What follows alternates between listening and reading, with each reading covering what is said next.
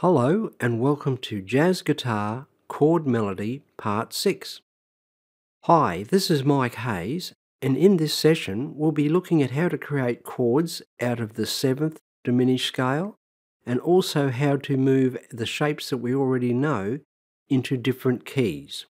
But before we get started, if this is the first video you've seen in the series and you'd like to catch up on the previous sessions, there's a link to the playlist containing all the previous sessions in the description section just below this video.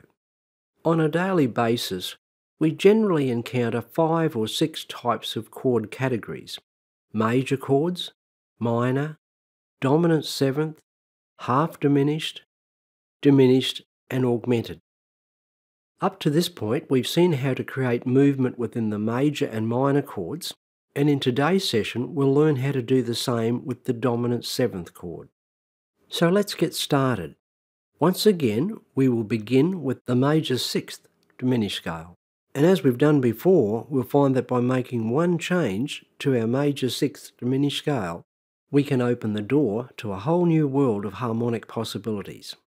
So once again, we begin with the major 6th diminished scale, C, D, E, F, G, A flat, A, B and C.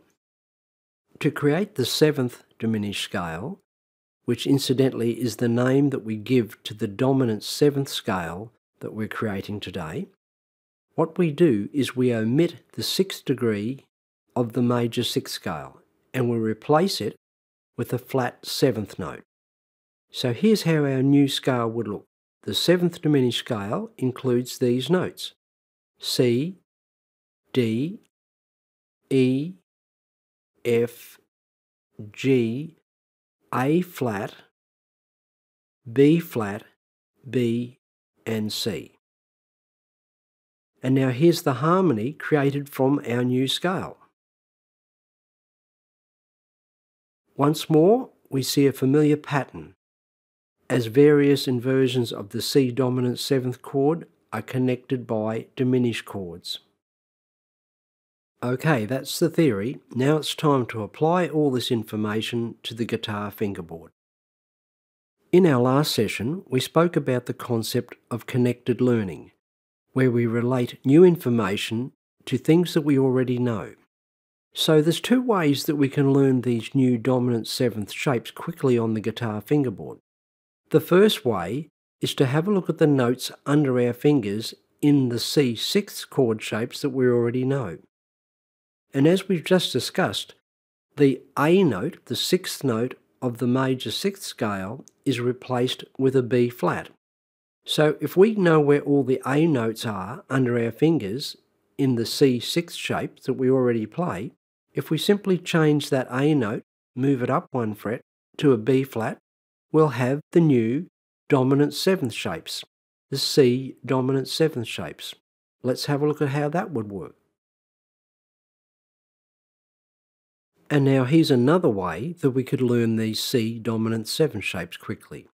As mentioned in a previous session, if we take the diminished 7th chord shape and lower any note by one fret, we will create a dominant 7th shape.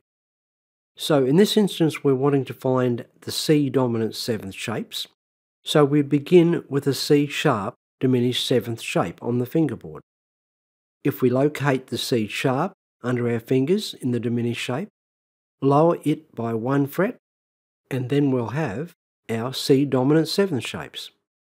And now it's time to link these new dominant seventh shapes together with diminished chords, and since you already know the diminished chord shapes, let's practice them. We'll play the exercise four times through.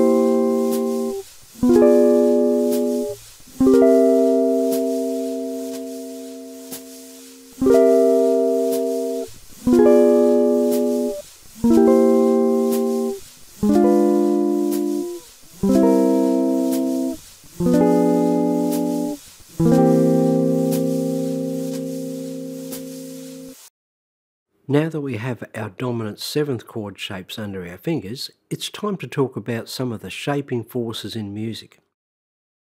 Music is about movement, and you can see the formula on the screen now for movement. Tension and release equals motion.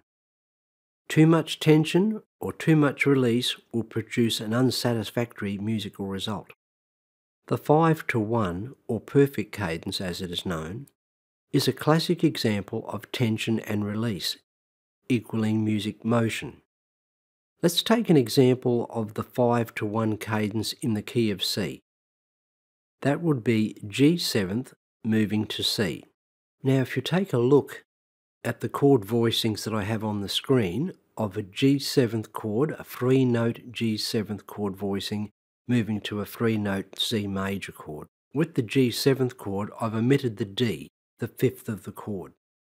A dominant seventh chord has a restless, unresolved quality. And if we take a close look at what's going on under our fingers in the chord shapes, we'll see why it has that unresolved quality. And it's caused by the semitones, the semitone movement. If we look at the G7th, and let's say we thought of it as a, a spring, a tightly coiled spring that wants to resolve and relax. The B note in the G7th chord wants to move up a semitone to the C, and the F note in the G7th wants to move down to resolve to the E in the C chord. If you play those two chords, G7th to C, in the voicings that I've presented here, you'll hear that perfect cadence and that feeling of resolution when you move from the 5 chord to the 1 chord. Since we've just learnt the C dominant 7th shapes on the guitar, a good practical application would be to create a perfect cadence, the C dominant 7th chord moving to its 1 chord. And if we have a look at the circle of fifths, we'll be able to see that the C 7th chord wants to resolve to F. Now, what we're going to do is again use some of our connected learning concepts and use the C6 shapes that we already know and convert them into F6 chord shapes. So again, I'm looking at the C6 chord shapes that we already know, and I'm looking at the notes under our fingers. What I'm looking for here is where the tonic note or the root note of the chord is located under our fingers. I'm looking for the position of the tonic note. Continuing our idea of connected learning, what I need to know now is how far do I have to move these C6 chord shapes on the guitar fingerboard? How far do I have to move them so that they become F6 chords? So rather than just show you some F6 chord shapes, I want to show you the process that I'm using so that you can work this out yourself. I'm going to use a keyboard, a piano keyboard, and if I start on the note C and look at how far away the note F is from C, and I'm reading from left to right on the page. So if I check this out, I'll find that there's five semitones. C to C sharp, C sharp to D, D to D sharp, D sharp to E, and then E to F. Now that number 5 becomes our magic number. So if I go back to the guitar fretboard and pick any one of the C6 shapes that I know, and if I move that shape up five frets, that's five semitones, I now will be playing an F6 chord. And you'll find wherever the root note was located under the C6 shape, you should now have an F note in the same position in that chord shape. Now if you find when you're moving these shapes around that you're running out of guitar fretboard, it's too high to play up on the fretboard, don't forget that the guitar has like a rotating fingerboard. That's the way I think about it. When you get to fret 12, the notes are the same as the open strings. So the concept is still the same. You move the chord shape up five frets to change the C6 into an F6. But if you run out of fingerboard, just simply continue around starting back on the first fret. So if the note you wanted to play turned out to be on the 13th fret, instead of trying to play it on the 13th fret, you could go back and play that chord or that note at the first fret. Now that we know the chord shapes for C7 and F6, let's practice a perfect cadence in the key of F. That's C7th moving to F6. I'll play this exercise through twice.